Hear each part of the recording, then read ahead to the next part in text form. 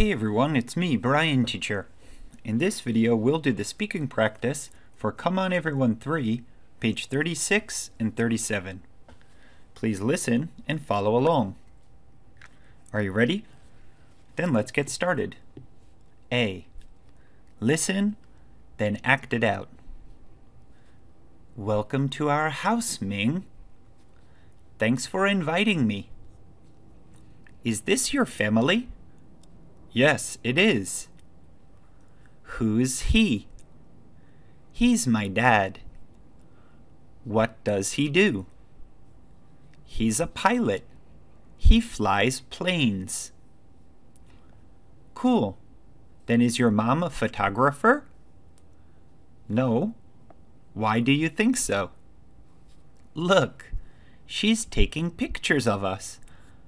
Mom, stop it! Question. What do your mom and dad do? My mom is a businesswoman. My dad is a police officer.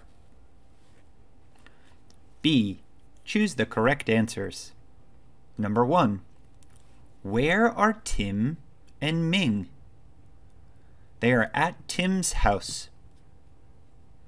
Number 2. What does Tim's dad do? He's a pilot. He flies planes. Number 3. Ming thinks Tim's mom is a photographer. Next, listen and say. Smart Mark parks the car in a large park.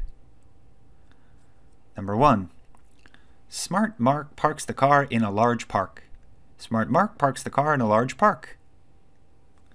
Number two, cleaning the store's floor is a boring chore. Cleaning the store's floor is a boring chore. Cleaning the store's floor is a boring chore. All right, that's it. We're all finished. And as always, thanks for listening, and we'll see you again next time. Bye bye.